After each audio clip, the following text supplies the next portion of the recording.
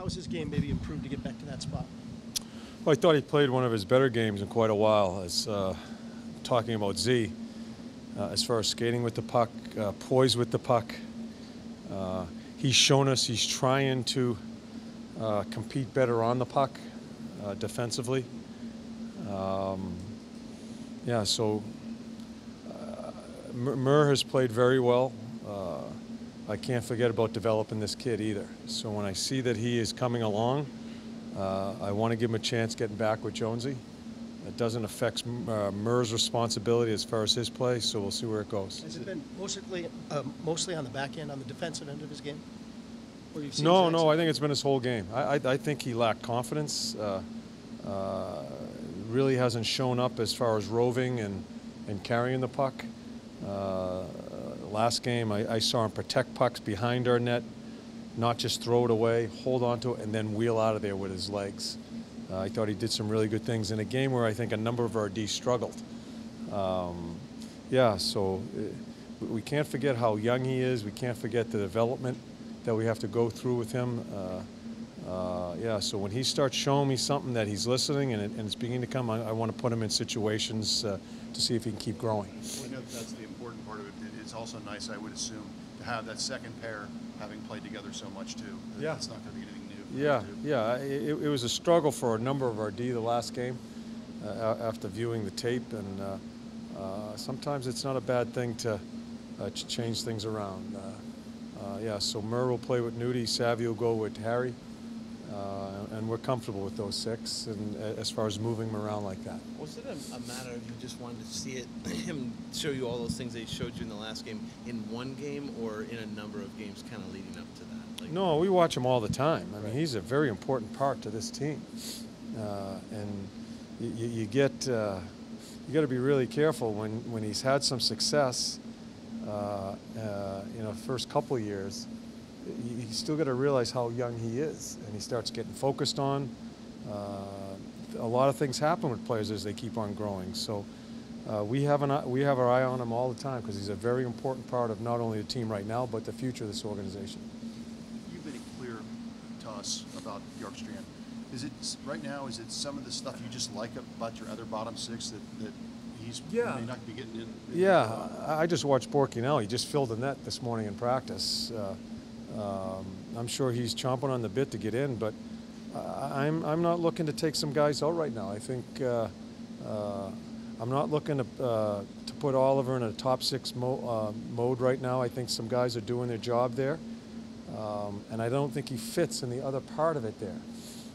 Our fourth line had some good minutes. Um, yeah, I'm just I'm not going to change the lineup for the sake of changing the lineup. Uh, so we'll see we'll see where it goes. Are you seeing more of what you want to see out of Duclair recently? At times, okay, yeah, at times. Still very inconsistent, but at times. I, I know he's listening. right. I know he's trying.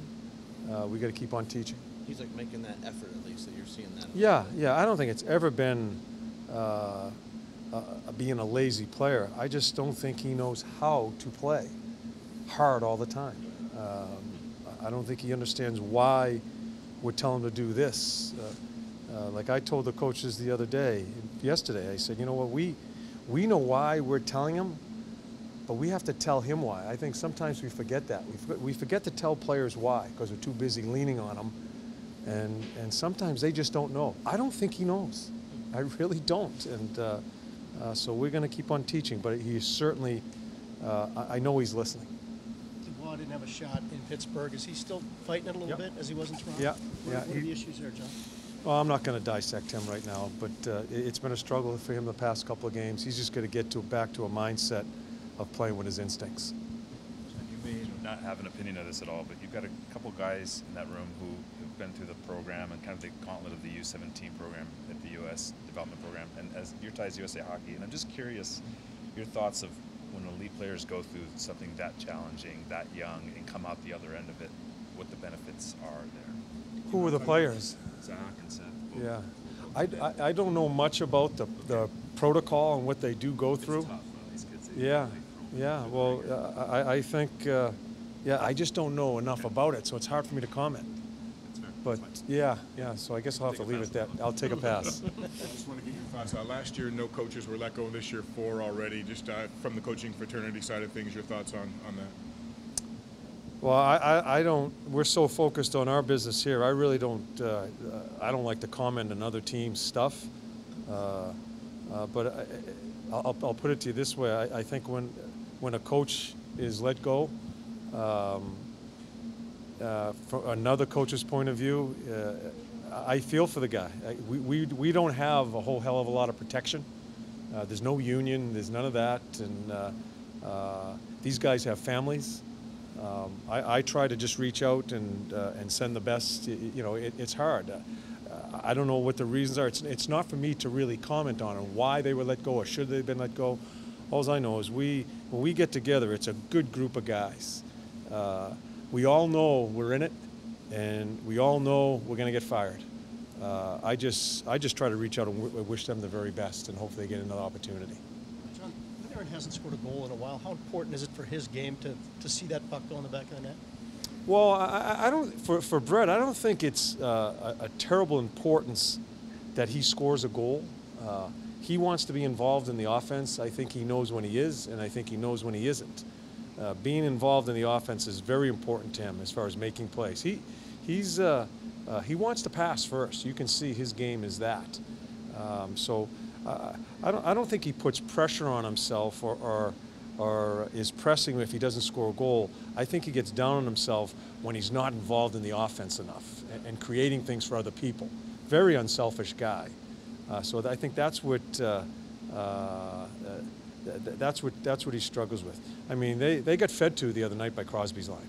Uh, the, the Crosby's line fed it to him in, in Pittsburgh, and it doesn't happen that often. Uh, uh, so hopefully they'll rebound tonight. Is that line in particular, is that about being harder in those, in that area right in front of the net? Is that, is that part of it, or?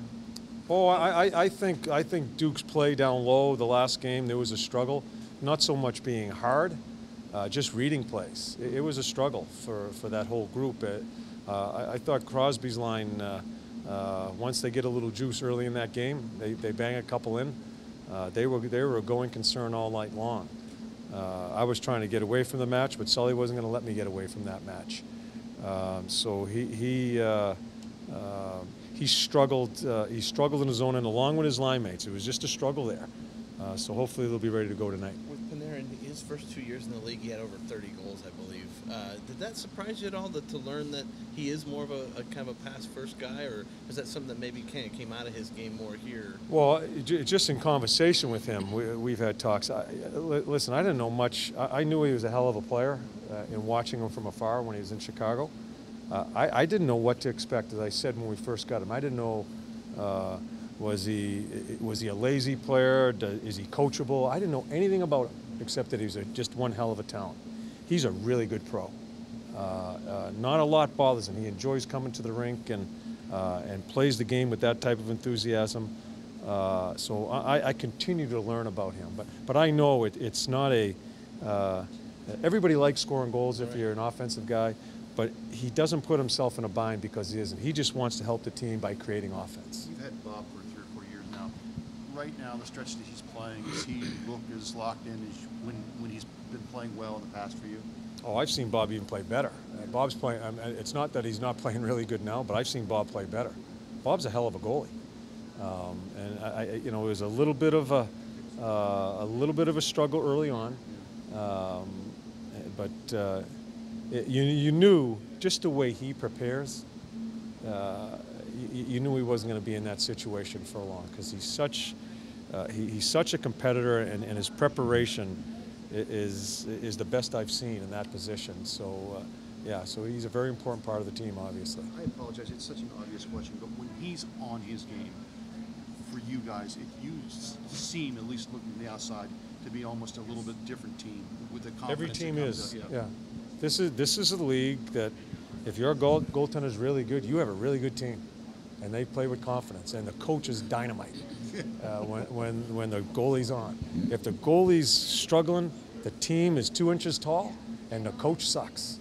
Uh, that's just the way this business is, and it's such an important position, and uh, uh, that's why we have position coach and uh, the coaches leave them alone and they talk. I don't know what the hell they talk about, but they're off by themselves doing their thing. So, such an important position in the game.